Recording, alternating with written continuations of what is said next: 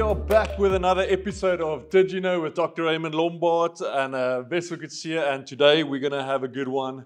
Are you ready for it? Yes, I are- believe you want to do a follow up where we last stopped. Well, we sort of like, it- it's been fun because we've sort of chronologically been following the end times. We were saying we wanted to, in season two, speak more about end times studies. So I think we've gone from, where did we go? The rapture to the seven year uh, great tribulation, the second coming of Jesus. So now it leads us into The millennium. the millennium, the thousand year reign. Absolutely. So we got some questions about this. Season two, we're probably coming to an end of season two, so we're gonna have a few more episodes. But let's see how far this one, this question takes us, because we've got the millennium, we've got the new Jerusalem, we've got the new heavens and the new earth. Things we want to get into. Yes, and, and the start of the millennium, who reigns in the millennium, Who the goes- characteristics of the millennium. all of those things. So if you are ready for that today, I hope you are ready. I hope you are finding a comfortable seat today. Get your coffee. I've got my coffee. Get your waters. Invite your friends because, uh, yeah, this is going to be a really interesting one. Maybe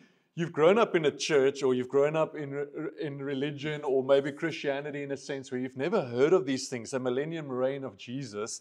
So I'm going to ask a bunch of questions about it because I'm like, is this real? Are we going to is Absolutely. Jesus coming back and then he's going to reign on earth, or is it going to be in heaven, or where are we going to Yeah, find yeah, ourselves? Yes. You know, you know what I was thinking when you when you were talking now, Vessel?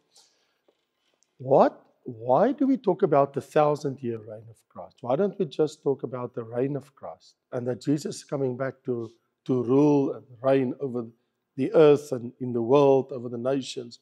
Why do we talk about the thousand year?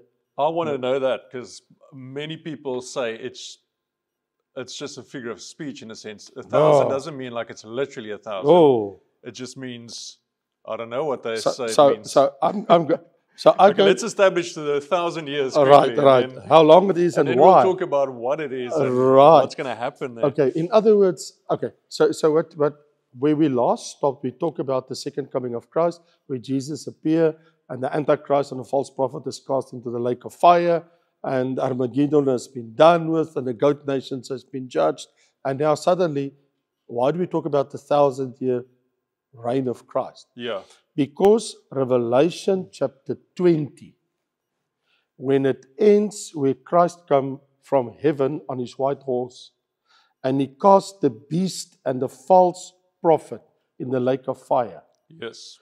The verses following says, Then I saw what's going to happen next. And what did he saw?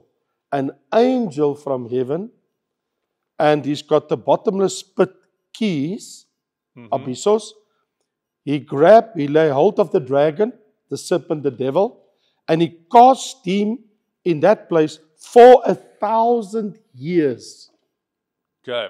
So Satan will be bound for a thousand years. Then, now that was, that was uh, or is Revelation 20, verse 2. Yes. But if you read verse 3, 4, 5, 6, and 7, if you keep on reading, you read five times more of the word thousand years. Okay. So, six times between Revelation 20, verse 1 to 7, we read of a thousand years that's coming. Now, here's a very interesting thing. I don't know if you know it. In the Old Testament, we have literally scores of prophecies about the millennium reign of the Messiah and when he comes. I mean, you can think of places like Isaiah chapter 9, Isaiah chapter 11, uh, Zechariah chapter 8, chapter 12, chapter 14, um, um, Ezekiel uh, chapter 39, chapter 40. And so I can continue. But never it was said, Vessel, ever, Uh-huh. ever, by any prophet in the Old Testament, that this millennium reign of the Messiah will be for a thousand years. That is a New Testament revelation, All right. exclusively in the New Testament. Exclusively in the book of Revelation. Yes. There's no other place in your Bible from Genesis to the book of Revelation explaining to us the time frame period Yeah. of this particular political, physical reign on a throne, the throne of David, in the city Jerusalem, in the land of Israel, for 1,000 years. Okay. So did the, the Jews always knew uh, knew about Jesus as the victorious king that's going to come back? Because we always speak about the dichotomy between the the servant Jesus we had that came to lay down his life, but then also the victorious. Is this where Jesus, you know, died as a servant but coming back to reign? Oh, okay. Let me does just he does he owe Hmm. someone to reign? Or? Okay, let, let me just clarify um, the words that you used, where you just said they always believed in Jesus, that he will come. The answer is actually no, they always believed in the Messiah. Okay, not They didn't know that his name is Jesus. Yes. That's why in the Old Testament you will always read of the anointed one, the Christ. For us as New Testament believers, of course, Jesus is the Christ. All right. But for them, they're still expecting the Christ. yeah. So let's just get that sorted out. And that out expectation was a second coming. That is where, of the Christ. and then a thousand year reign. That's why they. So, so here's a very interesting thing. For them, they had this idea. They didn't know about the first and second coming. Yes. It was blurred. They knew about the Messiah that comes. Yeah. So they were expecting the king to come and rule. So they weren't looking in the Old Testament for the second coming. The second coming is a New Testament doctrine. Yeah. Okay. Well, they were expecting the Messiah to return, Yes. and but of course we know that he's going to come for his church first, and then yes. return for. Yeah. Well, he actually Okay. came already, died on the cross. Then he comes for the rapture, first phase of the second coming, and then for his second coming. There we go. So, so but here's something very interesting that you that we are the topic that we're talking about. So, Vessel, let's just establish this. If we talk, or when we talk about the thousand year reign of Christ, it is a New Testament doctrine. Yes. It was revealed to the church. The Messianic Jews today, they know about it. hmm Only the Messianic Jews, not the Orthodox Jews. Orthodox Jews don't read the New Testament. Yes. They read only the Old Testament. So for them, they're waiting for the Messiah, Yeah. for his coming. No, no, we wait for his second coming. Okay. A mystery revealed to us. Right, church. as a, we understand it. So now we know, and the Bible uses because your question to me was, is it literal? Well, it says here, not only is Satan bound for a thousand years in abyssos, a place of torment, but it says, and I saw thrones and I saw the martyrs that did not receive the mark of the Antichrist and the name of his number. And they lived and reigned with Christ for a thousand years. hmm So a thousand years is a thousand years. A thousand years is a thousand years. Okay. Well, I don't want to get ahead of myself because now I'm wanting to ask why does Satan only get bound for a thousand and not two? you know. Sure, But- the- I would love to give you that answer. But I'm going to put it in here. Why is Satan? Because I think that's closer to. I want to get to the end of the thousand and Yeah, ask. yeah, yeah, Okay, yes. so why is he loosened again? Yes, so- so Or will he be loosened? You're right, because your answer to the question is what's going to happen at the end of the millennium of Satan. Yes. Because in the beginning of the millennium, he's bound. He's not on the earth. His angels is not here. so let's talk about what gets established during the millennium. What is that beginning? What can I expect today? Like in the sense of like Armageddon has happened. Now we're going into the thousand year reign. Is there a gap, or do we just go straight into? No, no, there, there is a gap because Daniel explains there must be a gap. Okay. There must be a gap between the day that Jesus Christ appears from heaven at Armageddon in the Kidron Valley and in Edom because there's three wars going on simultaneously as we see all the Old Testament scriptures. Here's the point. If that is the day of his coming and it's just one day, and the Bible says in the evening it shall become light, no day, no night, but in the evening it becomes light. That's what the Bible says. Here's my question. And then what then? Because that's what you're asking. What will happen the next day, the next week, the next month, Yeah. or six months? Because there's people left on earth, there's people in heaven. What are we all doing? So Daniel, he says in his prophecy that he, he heard from the angel. When he talk about the second part, you remember me and you talk about um, the three and a half year tribulation, the last latter part, Yes. and we said it's also called a time, times and half a time. Yes. which is three and a Three half and a years. half A time is a year, times is two years and half a time. We established that because that is 1,260 days, or it is uh, three and a half years. Now, or 42 months, because we get this description in the Bible in four different ways. Time, time, time, times and a half a time, 1,260 days, uh, 42 months. Um, so when we put all of that together, the angel says to him, From the time that the daily sacrifice is taken away and the abomination of desolation is set up, there shall be 1,290 days and not 60. Why is he adding 30 days to this figure? Extra month. And read the next verse. Blessed is he who waits and comes to 1,335 days. So there's added another 45 days plus the 30, it gives you 75 days. What the angel says is take note of the first 75 days of what's going to happen when Messiah comes to reign. Yes. So, so in actual fact, because that's what you actually asked me, you asked me, will we just go into the millennium? And the answer is no. There's things that need to happen. What, what need to happen? From the 1,335 day in Daniel, that 75 days. What, what will happen in that time frame period? I will tell you what will happen. First of all, the goat nations is defeated. They killed Okay. in that battle. Yes. So it's now the end of the day, the battle of Armageddon has taken place. Now, the Antichrist and the false prophet, as we saw last time, they cast into the lake of fire. Mm. That's the second thing that happened. Thirdly, Satan, you mentioned it just now, is bound and cast in the bottomless pit Yes. for a thousand years. That's the third thing that happened. But there's more to it. The judgment of the sheep and goat nations must be concluded because Jesus said, Then I will establish my throne and I will say to the sheep nations, Come, inherit the kingdom, but I will judge the goat nations. Okay. So there's a judgment. So some of the goat nation people would have survived. But the, according to the Bible, they will be killed and they will be dealt with. Okay. They will not be allowed to go into the, to the millennium. Okay. Only the sheep nations. All right. Only the sheep nations will be allowed in Matthew uh, 24 and 25. And then, of course, you remember the abomination of desolation, the, the image of the Antichrist Yeah, that yeah. was placed in the temple. Yes. The temple need to be cleaned. Okay. So that need to be taken away.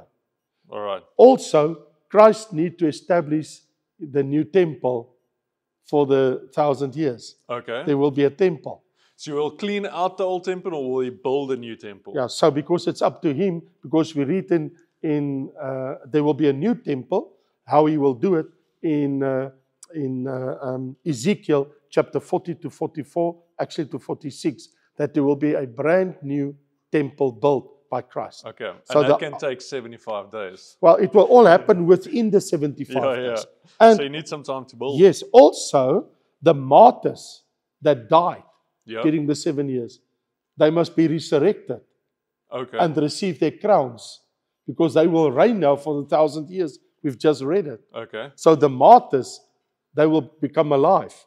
Those that refuse to take the mark, as we saw here in Revelation chapter 20, Yes. verse 4. And also, what about the Old Testament saints? David, Abraham, Yes. Isaac, Jacob. When will they rise from the dead? Okay. So now there's a resurrection at the same time when the martyrs are resurrected after seven years. The Old Testament saints are also resurrected to receive their glorified bodies. All right. Okay. Because seven years So prior, we're still in the 75 days. that's all everything's happening in that 75 days because David will reign with Christ on his throne. Yeah. Abram, Isaac, and Jacob will sit in the kingdom, and people will come from the east, the west, the south, and the north to sit and feast with them. Okay. So that has to take place. Also, the throne of David, Isaiah chapter 9 and Luke chapter 1 tells us the throne of David must be established in, in Jerusalem. So Jesus must erect his throne. He will put the throne down there. Okay. And Jesus will sit on a throne. He will sit on the throne. And the prince he speaks about will be David. Do we know it's David? Yes. Did he say it's Oh, oh, David? the Bible is very clear. In Ezekiel, it actually says Ezekiel 27, 20, uh, 37, 38, and many other places, especially uh, in 26, 27, that David will reign with Christ. Then, very important uh, vessel, the Jews never accepted Christ. Yes. They crucified him. So Zechariah chapter 12 says, for 30 days they will mourn him. Okay. Because remember, Jesus saved one third of them by the western wall, by the temple when he comes, two thirds died. hmm But now here's my question to you. They can't just say to Jesus, Well, you know, we're sorry. Yeah. And can we just go on? yeah. There will be a 30 day, and that's what Zechariah 12 tells us. For 30 days. I there will- guess would that be the first 30 days I speak about? yes. They'll straight go into mourning. Yes, of course. Because the Bible says they will see the one that they pierce his hands and his feet. Yeah. and they will fall down and say, Forgive us, forgive us. And also, the animal kingdom must be restored. Because according to Zechariah 11, the lion, the, the stomach of the lion will not eat anymore by, by eating and, and receiving uh, animals that he will catch, like antelope or buck, but he will eat grass like an ox. Okay. So the, the, the metabolism of the animal kingdom will totally change. No lion will eat a buck anymore. Yeah. There's no more carnivore. No leopard will kill a buck anymore. The Bible says in, in, in, in Isaiah 11, all of them will eat grass, Oh wow. like a cow and a sheep. So the lion, the everyone will they will not be but will people still hunt? No, you won't. No, we will not kill them. Will we not what No, will we no, what will we eat because in a thousand year reign? Ah, we. we. Oh, wow. Well, I know that people will catch fish. They will stand by, uh, by the river uh, um, and going all the way to, uh, uh, to the Dead Sea. So we'll all become what's it called? Pescatarian. Fish. Well, fish and vegetables. Well, you know, right I'm? I'm not not going to sure. go down that because uh, I don't like that idea, but the Lord will help us sort it out. But what we do read here in Isaiah chapter 11 the wolf also shall dwell with the lamb, and the leopard shall lie down with the young goat, and the calf and the young lion and the fatling together. And the little child shall lead them, and the cow and the bear shall graze. Their young ones shall lie down together, and the lion shall eat straw like the ox. Okay. So everything will change. So in that 75 days, earth will be changed into a peaceful paradise. Will Earth as we know it exist then? Absolutely. Okay, so after all the Planet wars, Earth. all the deaths, Planet Earth is still there. okay, Israel will take seven months to bury, to bury all the dead. yes. So they're going into the millennium the first seven months. So we'll still have Hawaii, Mauritius, all those places, but the sheep nation, they will be all over the earth because Okay. the Lord wants people to fill the earth. yes. So what we will see is the millennium temple has been erected, the animal kingdom is restored, and now there's a new dispensation. For the first time now, what we see, what is very interesting, is now we have the start of the thousand year reign of Christ. Bear in mind, do you remember that when he comes for his second coming, Yes. he also bring not only angels on horses, but he has to bring some of the church because the Bible says in Revelation 20, and we will receive crowns, will reign with him for a thousand years. Yes. So there will be millions of Christians with their resurrected bodies coming down from heaven, coming with Christ to reign for the thousand years. So you have Old Testament saints, Yeah. you have part of the church, The and you have the 144. martyrs 144,000? And the 144,000 will be here with Christ. They will all be here. when will the church and everybody got, or when were those who got crowns from the church? Because the only ones getting crowns is from the church era. eh? Yes, yes. When will they come down? Somewhere in the 75 days? It's not specific, it's In the beginning. in the beginning. Yes, they will come during that 75 days. Okay, Jesus will bring them down okay. so that uh, they can rule with him. Now, although it's only the church that receive crowns, don't forget, of course, there's Old Testament saints that will also receive rewards to reign with Christ. Yes, So crowns is applicable also to Old Testament saints. okay. Plus, crowns is applicable to the martyrs because we read they will receive crowns to reign with Christ. Okay, but let's establish that and then we're going to end on this Sure. with this episode.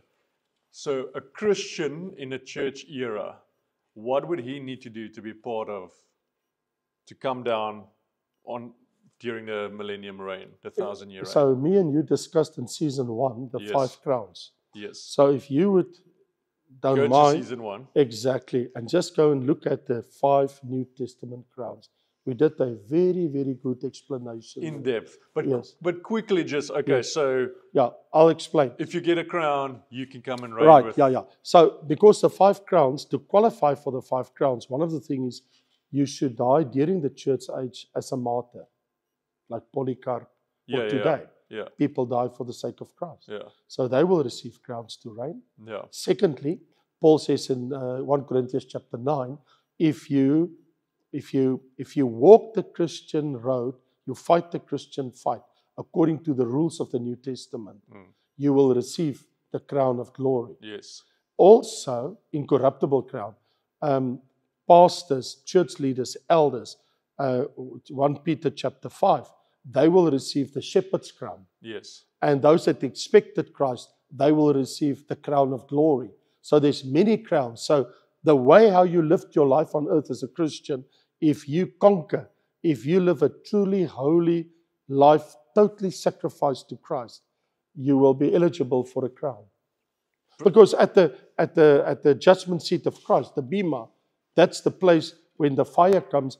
So in other words, your works that are worth gold, silver, and precious stones Yeah. those works, You will receive a you crown. will receive a crown for Okay, that. so go watch that in season one because we did it in depth. But I just wanted to touch on that. So, if I don't get a crown, I'm still saved.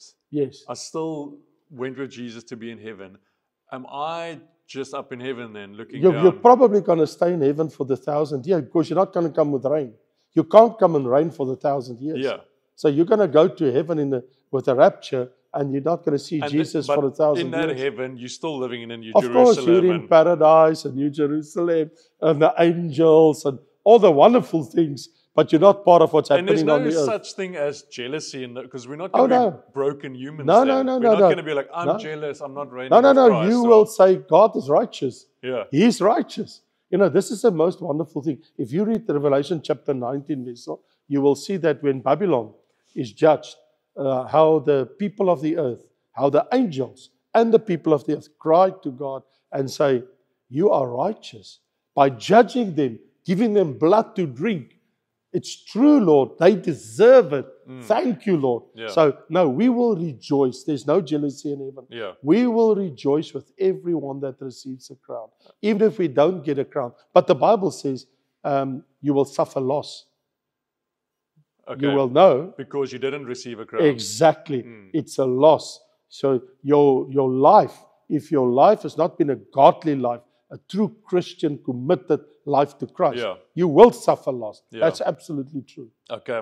And you cannot come down to reign with, with, with Christ in a thousand years. So, And, and even when the new heaven, new earth come after that, you will still not be able to reign for all eternity because remember, Revelation 20, verse 4 and 5 says there's still eternity to reign. Okay, well, let's go. We're going to get there because I think we just established 75 days.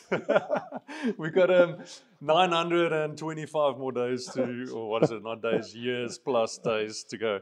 So, my maths are incredible. But we're going to, I think we're going to end this episode there. Sure, And all we're going to continue to speak. But I think we just wanted to establish the 75 days, why that's there, what everything that needs to fall into place for Jesus to reign and who's going to come and reign And also him. that it is a thousand years. And we've It established it is very, very important. And that Yeah. is a New Testament doctrine. yeah, So if we say Christ come to rule, we know he's going to come and rule for a thousand years because he is a king. yeah, They crucified the king. Israel crucified the king. He's coming back, Israel, and he is going to reign. He will reign. And we that receive crowns will reign with him. Okay, so we're going to come back to the next episode and we're going to speak about things like the, the goals of the millennium, what needs to happen in it, why Jesus is coming to do it, who's Uh, going to reign over, why does Satan get released again after that? sure? Yeah, That's- yeah. Very interesting questions to come. What's good? Is there apparently there's another war coming? Oh, yes, oh, absolutely. Well, stay tuned. See you in the next episode. Thanks for joining in today. Um, I hope you loved it. Once again, you can go like, subscribe, share, send us to friends. If you ever have a conversation about the thousand years, this is your starting point. And um, we thank Dr. Raymond for Thank doing you. 40 years of study so that we can get this in um, 25 minutes. Bless your soul. Have a great day. See you at the next episode.